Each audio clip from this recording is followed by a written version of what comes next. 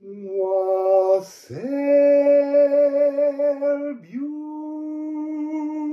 beautiful people. So, um, I just changed shirts. It's the same day. I feel like I have to tell you because it feels like that's a deception. It's not a deception. They need to be different, clearly delineated readings, but the one I just did was so beautiful. I want to carry on. Also, I'm going to change my shirt again and do one more reading so that I have published to be released readings up to and including my birthday um, because which is tomorrow when you're seeing this because I want to have my birthday to myself or you know to me I don't want to be making a video it has to it has to be a day I celebrate. So doing three readings today in different shirts, but the energy of the last one was so exciting. I'm really thrilled to move on. So let's let's open with the rune again. There's a really strong wind today. Wind change. I like a wind change. So I'm going to be 56 tomorrow, people. I have no plans. I don't know what I'm doing. There's a part of me that wishes I had uh, the money to go and have a massage because my legs have been hurting. It started with that knee ache then yesterday it went into my thigh and my thigh went numb on my right leg, only my right leg. My left leg's completely fine. And today there's a massive tension in the back of my calf. It'll go, it's all good. It's cosmic acupuncture. It hurts, but it's realignment. I've been getting a message of micro realignments. I don't really know what that means yet. So anyway, let's go. Let's see what this message is. Interesting. They turned and they went inside the deck. Now, those of you who follow my readings will know that anything that turns in the deck is something that you have that you can't quite see, but it's an energy becoming available, but it doesn't mean you're going to grab it. Just means it's something that's there it's interesting. I feel like I'm going to show you all three together. Brom, Björk and Earthgrap. But I kind of want to show it the way it came out. So Earthgrap, Björk and Brom. There's something about this that's in the wrong order. And yet, if I try and turn it it doesn't quite make sense in any order. What do I mean by that? I'm just going to move the pieces around. I see, and that's breaking a dream I had in which I was moving the pieces of a cosmic jigsaw. We are all moving the pieces of our own personal cosmic jigsaw. And we're trying to fit the pieces together to build a beautiful life story. We haven't got all the pieces because some of the pieces are from this, some of the pieces are going to sweep in. And this earth grab is kind of like saying, this is the first part of the journey. This is the part where we're dealing with the molecular frequencies of all of our cells. And then sweeping in is this new frequency, but this doesn't sweep in until we scrape away and cleanse some of the old blood songs. And when we've cleansed enough blood songs, we get this, oh, we get this micro realignment and that enables the beginnings. It's like I'm, they're showing, I'm seeing, they're showing, I'm seeing there's no one showing me I'm tuning into it. I need to accept that. You need to accept that. We all need to accept that we are the ones that make and create this jigsaw. So it's like a gentle early winter snow flurry. And that's the beginning of this kind of galactic story hovering in. And it's it's less harsh than Hagal. Hagal is hailstones. This is a kind of, it's not sleet. It is snowflakes. They are formed. They are microscopic crystals of cosmic realignment and they're coming down and they're touching our bodies and our face and our hands and our arms and they're melting into us. This is the beginning of a soft, beautiful new beginning. Now they make sense. It's almost like we can't make sense of it and then we can. That's so gorgeous. Oh, it's so beautiful.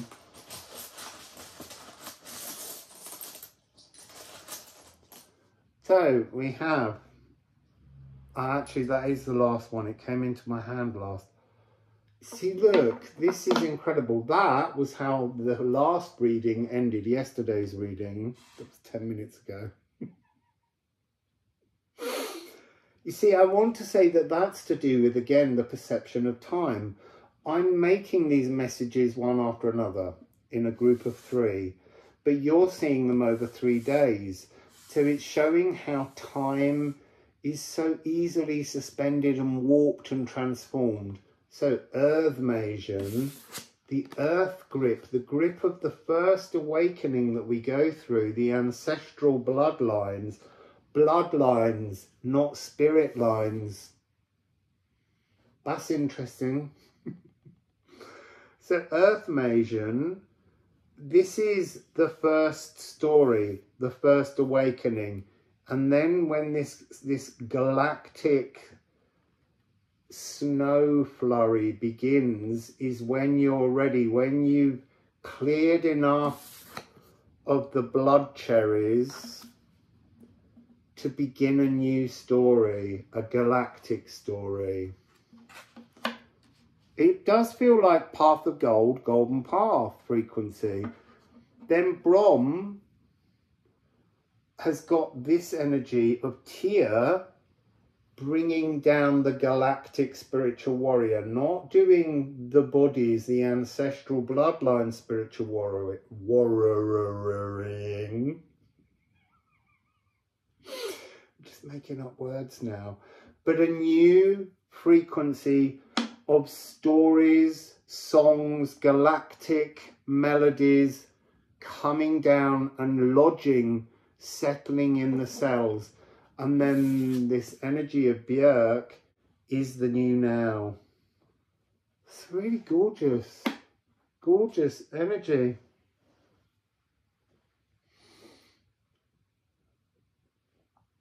It's interesting, it says, uh, it's talking about adapting to the relentless environmental stress. Poplar trees wrap seeds in cotton casings and give these future wishes pre-wrapped and ready mapped to the wind to carry and spread fresh life. So I was reading today about how sometimes people put a kind of fleece over lawns in part of a process to get rid of the crane flies, the daddy longlegs that are flying around here was reading about their life cycle really because we kind of think of butterflies and I often think also of dragonflies as being these things that have different transformations. You know, they have a 13 frequency death card in which they go into the pupa, pupa stage and then often they become like a soup and then from that soup a whole new creation comes out.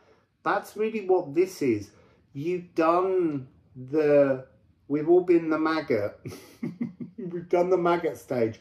We're going into the pupa stage now so that we can emerge as galactic beings. So we're getting new information. But what was fascinating realization today with all this fleece, that's a little bit like we're wrapped in a kind of physical realm fleece, but it's it's on a micro cellular level.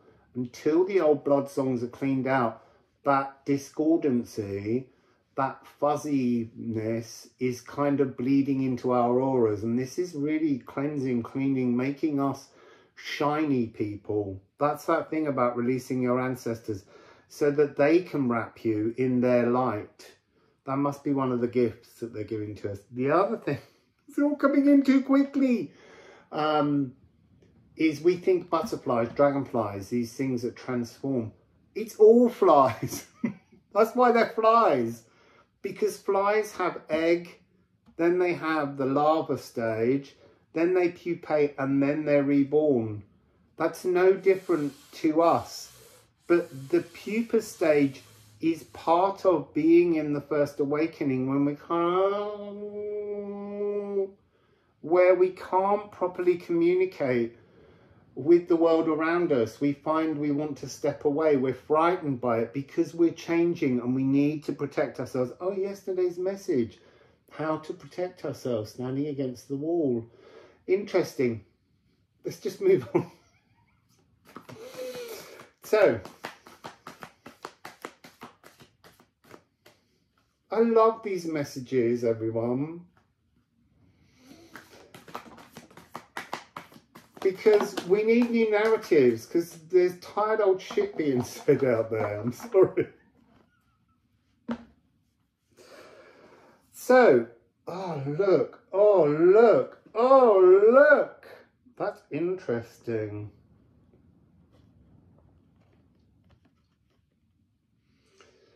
So we have Makemake and we have sulfur. Can you see how there's something in the artwork here that's very sort of, well, I wanted to say sort of like uh, an animated river of, of nature and then how this one's somehow much more representative of real. It's like we're moving victoriously into this new narrative, this new galactic narrative, soul of all living and material things, different to material things, all living material things. So the other thing I'm getting is the F of the lower heart. Mm -hmm.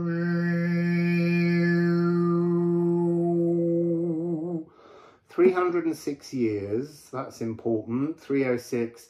It's like the three and the six is a Tesla trap frequency of being here in a kind of consciousness, mystical frequency of life and being trapped in that energy, but at the same time also being in so many other spaces, dimensions, and times, but we can't sense that.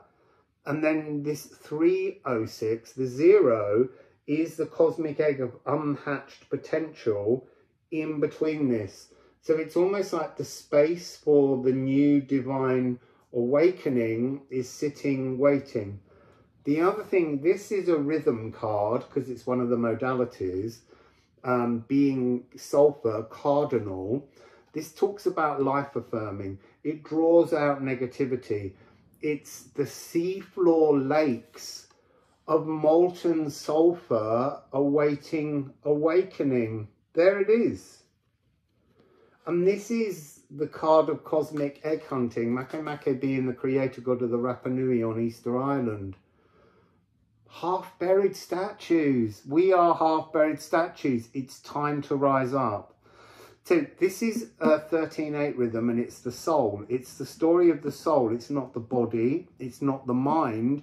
It's the soul. What is the soul? The soul is the current song that you are singing while in your embodied thought, thought thinking life, your embodied thinking life. And we're bringing our consciousness from the F sharp of higher consciousness into the F of the lower world. This is about becoming more real in the real world, but it's a different real world that you're becoming into. So 13.8 and F is reminding me of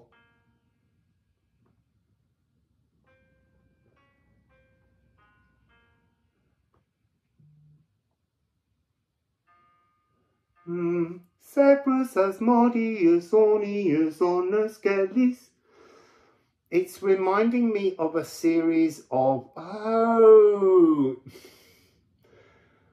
Solomon's Ring was a small oratorio that I wrote when I was studying with Erika Fox at the Guildhall, Junior Guildhall. And in Solomon's ring, he uses the ring. Oh my God, and I just bought a new ring to wear. And then I got out my old ring and I put them both on. It's weird how these things all connect in. So in Solomon's ring, the ring gives him control over the demons and he uses it and there's a whole series of seals of Solomon that lock the demons. They're not demons, they're tribes, they're, they're beings, they're light beings, they're ancestor families. And this is the point at which we unlock them. And, and in the song cycle, this section where he was locking them is really to unlock them.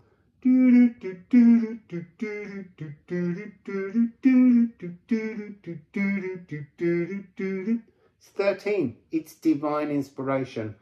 Unlocking divine inspiration. I feel like uh, I feel like I've just lost where all of this came from because something just opened and let something out. This is the new message that keeps coming through. Opening to let something out. Anyway, 13.8. Interesting. Sacras Asmodeus Orneus Onoscalis. Uh, and I wasn't going to sing them, and then they just came out. And it was by saying their names that there was that realization that they're misrepresented. They are galactic tribes. There's a lot of 50 energy here. 51, 52, uh, 50, sorry, Rippian, maturing, Makemake 51, Brom sweeping away 52, Sulfur is 54. We don't have, we had 55 in yesterday's reading, we don't have 53. 53 is a number that I see in the world around me a lot to do with journeys, boarding for a new journey. Oh, now 58, Liffruma. So this is a new frequency cosmic egg hunting the timbre of the natural world. The timbre of the natural world today is uh, rain and wind returning unbroken dreams to the world. Ah, you see, that has never ever made sense before. The unbroken dreams are the dreams of the trapped galactic tribes that we're going to be unlocking. And then the final rune here is 37, Sunsteder. This is the rarefied microscopic alignment. This is the alignment. And it talks often really about solstice. So somehow here, we're getting a preemptive message that's moving us towards the 21st of the 12th, which is always a mirror. Oh, I need to check. Might be on the 22nd this year. Gonna have to check that for you now, people. But this is the first December solstice energy I'm getting. December solstice 2024. Oh, that's interesting. So it's on Saturday, the 21st of December, 21st of the 12th, and it's at 9.19 a.m. 9.19 a.m. No, it says it's at 9.21. It depends where you are on the line, but if you're on zero degrees, I would imagine it's at 9.19. It's a mirror, it's a mirror, it's a mirror. There's a very strong mirroring energy. Also, I want to try and remember this year to pay, oh look, it was 1919 as I said that. Mm. So, uh, I want to try and remember to mark Yule on that day. It's the first day of Yule, and then you count the 12 days of Yule. There's a day before, which is an, a celebration day. We'll mark that. And then that takes us to the end of the year. And that's the true 12 days of Christmas. It's the 12 days of Yule. And that's 12 being that energy of 12 signs of the zodiac, the 12 hours in the clock face, the 12 months of the year, and that energy of 13 being the divine inspiration that comes in. Oh, six, nine, nine.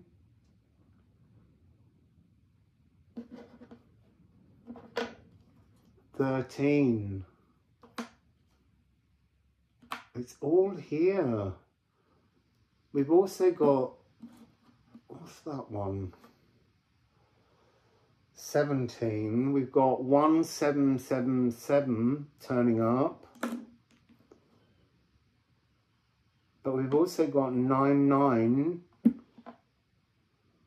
6, and this alignment is 37, which is completion, new beginning. But it's not really completion. I want to say appreciation. There's something about this that's just suddenly changed, which is nine is the divine nine. That's the Tesla code for the divine intervention.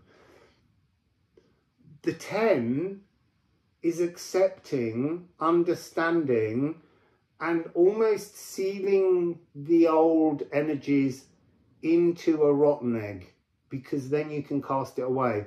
It's it's dealt with, it's contained, and then you're left with the one which is the new beginning. So that's a lovely message.